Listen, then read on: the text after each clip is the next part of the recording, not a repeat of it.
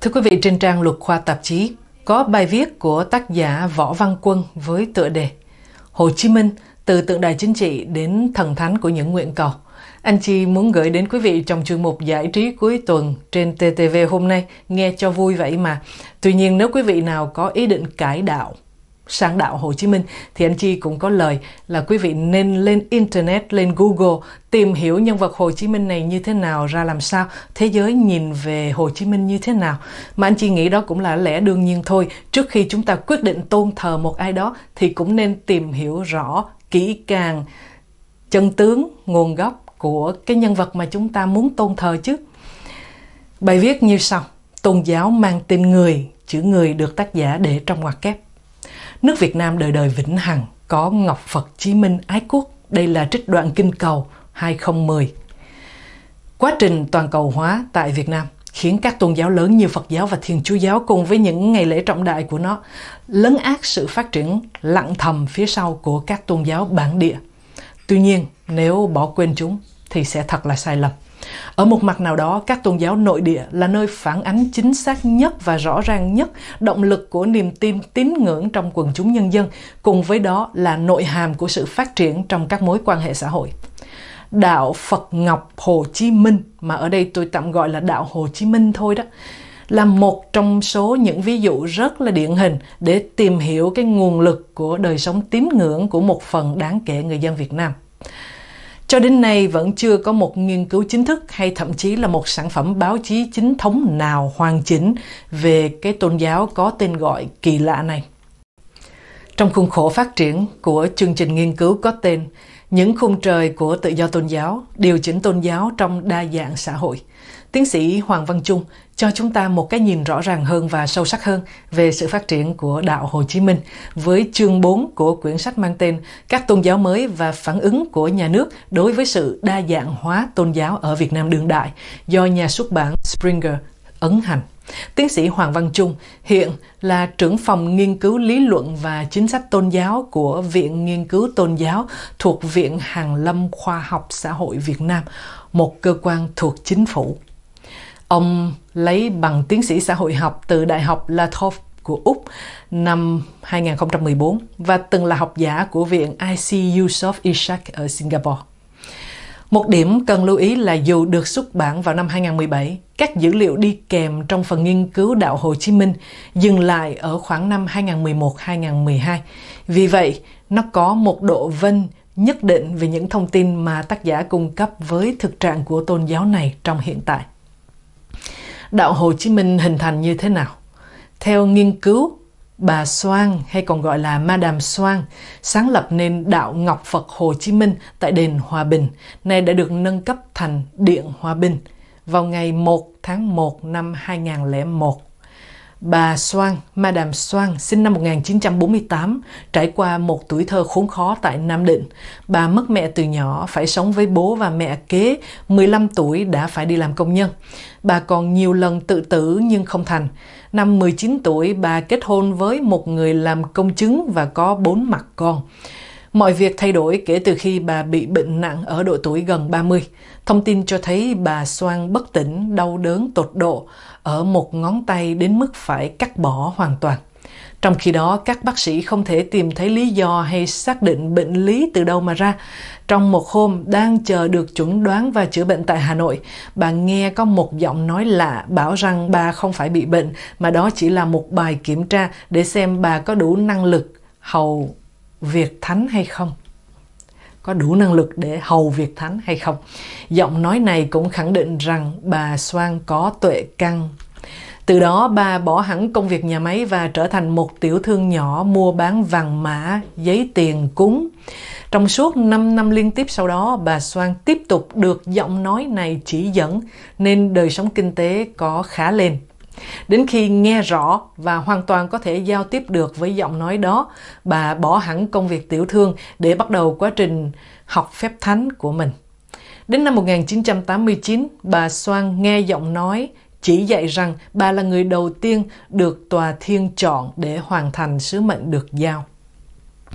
Từ chính khách đến thần thánh từ thập niên 2000, câu chuyện về những cá nhân thành công vang dội và trở nên giàu có bằng cách nương nhờ vào sự giúp đỡ của Ngọc Phật Hồ Chí Minh được đoàn Đồng Thiên Hòa Bình, tức là tổ chức tôn giáo đứng đầu của đạo Hồ Chí Minh đó, truyền tụng giữa các giáo dân của mình. Một doanh nhân làm việc trong lĩnh vực xây dựng trở nên rất giàu có vì vân mệnh của Bác Hồ. Để bày tỏ lòng thành của mình, ông đã tặng cho đền Hòa Bình 200 triệu đồng, một tài sản rất lớn tại thời điểm này, để nâng cấp và cải tạo nơi thờ cúng. Hình tượng Hồ Chí Minh đã đi một quãng đường xa, từ một chính trị gia gần dân, giản dị, có năng lực đến một vị thần có khả năng can thiệp và kiểm soát đời sống, sự hạnh phúc và thành công của những con người còn tồn tại ở cõi trần. Điều gì đã xảy ra? Việc thần thánh hóa vị Chủ tịch Hồ Chí Minh rõ ràng không bắt đầu với thường dân Việt Nam. Ai cũng có thể nhận ra điều đó. Nghiên cứu của Hoàng Văn Trung chỉ ra rằng rất nhiều nghiên cứu khác đã ghi nhận rõ cái chết của ông Hồ Chí Minh cho phép Đảng Cộng sản Việt Nam đưa ra các chiến dịch tuyên truyền riêng của họ. Của riêng họ. Nhà nước can thiệp sâu vào cái việc chỉ đạo hoặc khuyến khích việc tưởng nhớ, từ đó biến thành nghi lễ thờ cúng vị chủ tịch đã khuất. Họ chỉ ra Đảng Cộng sản Việt Nam có mục tiêu xây dựng hiện tượng sùng bái cá nhân dành cho ông Hồ Chí Minh rất là rõ ràng. Từ hành vi quảng bá những phẩm chất đạo đức thánh thần của ông Hồ Chí Minh cho đến cái việc dựng nên những thần thoại về ông, và từ đó biến nó thành chính sử Tuy nhiên, điểm thú vị nhất mà tiến sĩ Hoàng Văn Trung đồng ý với các tác giả trước đó là Đảng Cộng sản Việt Nam chỉ kỳ vọng giới hạn hiện tượng sùng bái cá nhân này trong mô hình tín ngưỡng thờ ông bà. Từ đó kết nối lịch sử của phong trào dân tộc dân chủ, phong trào cộng sản Việt Nam trong quá khứ với sự thành công của quốc dân trong tương lai. Trên cơ sở đó, Đảng Cộng sản Việt Nam, tập đoàn chính trị do ông Hồ thành lập, được gia tăng tính chính danh Đặc biệt là tác giả nhấn mạnh mục tiêu của Đảng Cộng sản Việt Nam và quần chúng nhân dân trong việc thờ phụng ông Hồ Chí Minh là khác nhau. Mô hình thờ phụng của Đảng Cộng sản Việt Nam dành cho Hồ Chí Minh được xem là ít có tính tôn giáo và ít có mê tín hơn. Do đó, ông Trung khẳng định các tôn giáo liên quan đến vị lãnh tụ chính trị này như Đạo Phật Ngọc Hồ Chí Minh là một hệ quả không mong muốn của chính sách nhà nước. Nỗ lực của chính quyền đối với hình ảnh của ông Hồ Chí Minh nếu so với kỳ vọng tín ngưỡng của người dân, do đó là không đồng nhất. Bản thân người viết, tức là tác giả Võ Văn Quân, tác giả của bài viết này đó, ông có khá nhiều câu hỏi dành cho ông tiến sĩ Trung, tác giả của cuốn sách à, đang phân tích, khi mà ông Trung ủng hộ cái lập luận này. Chúng ta đang thấy một hiện tượng phổ biến là các cơ quan nhà nước thường xuyên cổ suý cho việc thờ cúng ông Hồ, đặt tượng ông Hồ, ảnh ông Hồ tại rất nhiều các chùa chiền phía miền Bắc Việt Nam. Dân hương tưởng niệm ông Hồ Chí Minh trong các dịp lễ lớn của quốc gia cùng với rất nhiều các hoạt động khác cho rằng nhà nước không mong muốn hoặc ít nhất là không nhìn thấy trước được cái sự hình thành một tôn giáo nào đó lấy ông Hồ Chí Minh làm giáo chủ thì theo người viết là không hợp lý. Đặc biệt trong bối cảnh kinh tế Việt Nam vừa mở cửa và thói quen thực hành tôn giáo chỉ vừa mới hình thành lại từ thập niên 1990. Việc khám phá, thử nghiệm tự nhiên của người dân đối với các hình thức tôn giáo mới và tín ngưỡng mới là vô cùng hiển nhiên. Tuy nhiên, Đấy là những gì mà tác giả Hoàng Văn Trung và các tác giả khác ông trích dẫn nhất trí. Theo đạo Hồ Chí Minh, á, Việt Nam là lãnh đạo của cuộc cách mạng tâm linh của toàn nhân loại. Đạo Hồ Chí Minh nhắm đến một cuộc cách mạng tâm linh để cứu rỗi dân tộc khỏi những giặc tà ngoại bang từ quá khứ đến hiện tại. Cuộc cách mạng này còn nhằm hòa hợp mối quan hệ giữa các cõi tâm linh bao gồm cõi thiên, cõi Phật cõi trần và cõi âm. Như sau này, một cuộc cách mạng thiên đàng tâm linh thay cũ đổi mới thực tình, cho dân nước hết cảnh mình làm tôi. Từ nay có thứ có ngôi, theo lệnh luật trời, theo lệnh tổ tông. Uhm. Theo giáo lý của đạo này đó, cõi thiên là nơi cai quản ba cái cõi còn lại. Song hành vi, thái độ, cách cúng kiến không đúng đắn của cõi trần khiến cho các cõi còn lại đều nổi giận. Đạo này cho rằng vì những thành tựu tuệ căn cũng như khả năng tu tập bản thân của Hồ Chí Minh sau khi ông này rời khỏi cõi trần, linh hồn của ổng được bầu chọn trở thành lãnh đạo của tòa thiên. Từ đó dẫn dắt cuộc cách mạng tinh thần nhằm áp đặt con đường đúng đắn của thiên chỉ lên thế giới.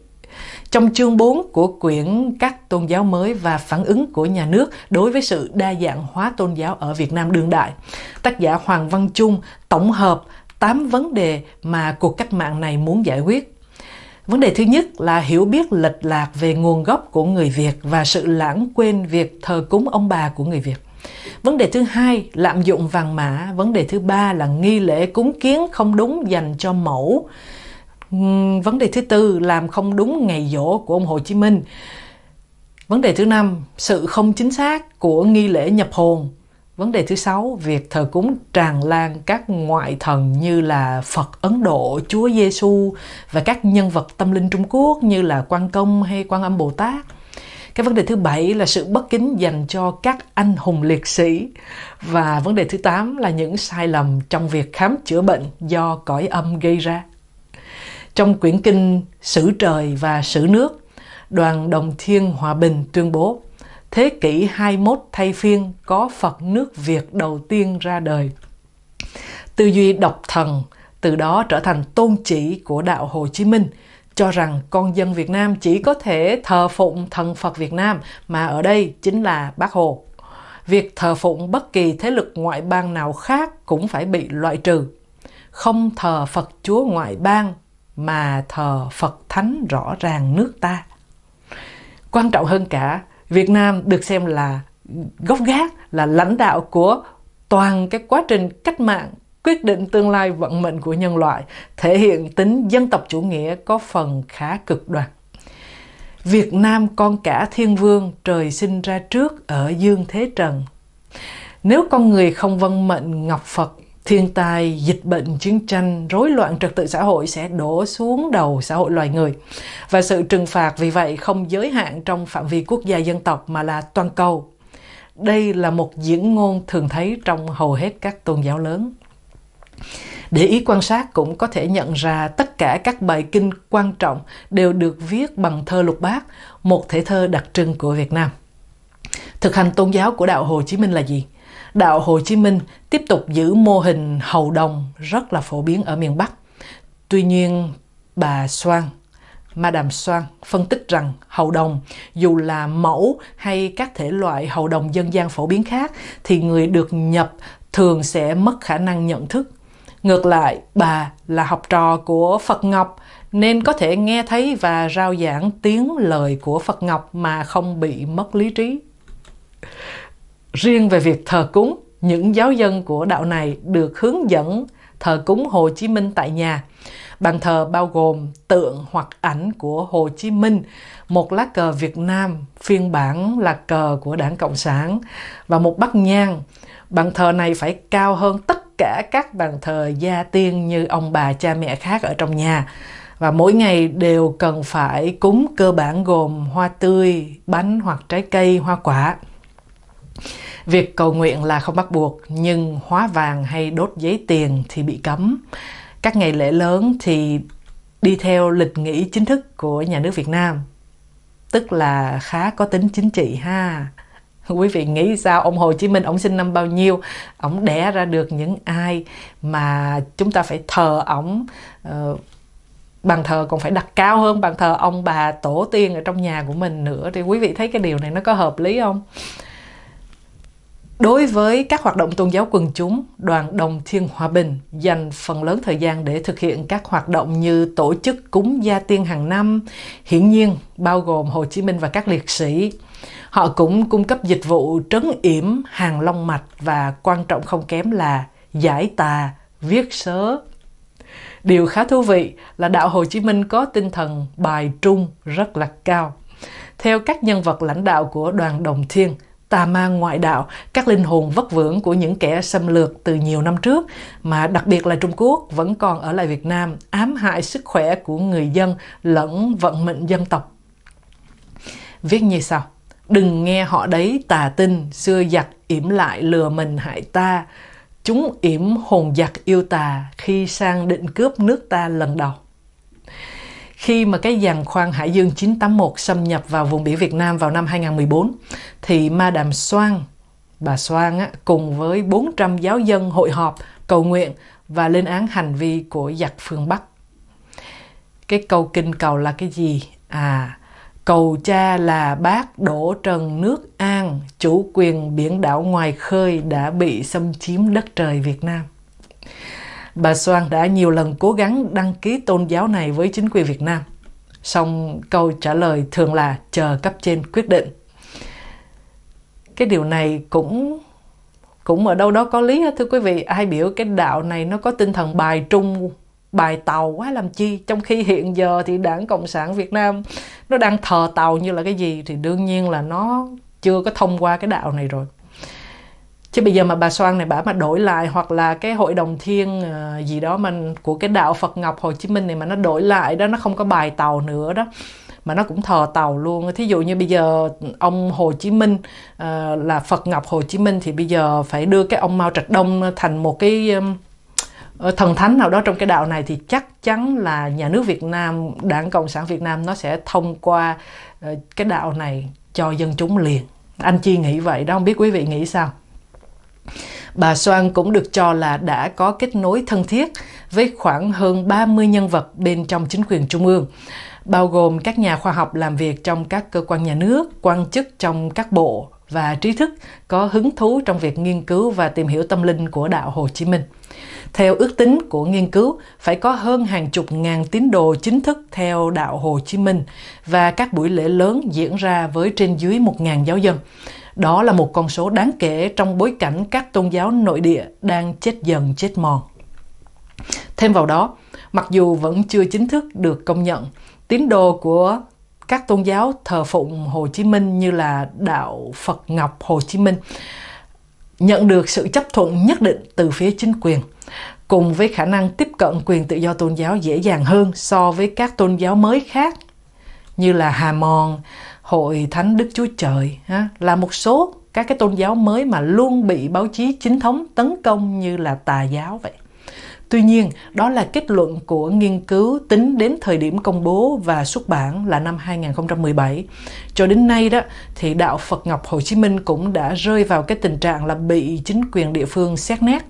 Ví dụ như báo Công an Nhân dân đăng đàn chỉ tội cái đạo này là lợi dụng hình ảnh ông Hồ Chí Minh với các chiêu bài tự xưng là ăn lộc Bắc Hồ và có thể dùng các loại lá cây để mà chữa bách bệnh.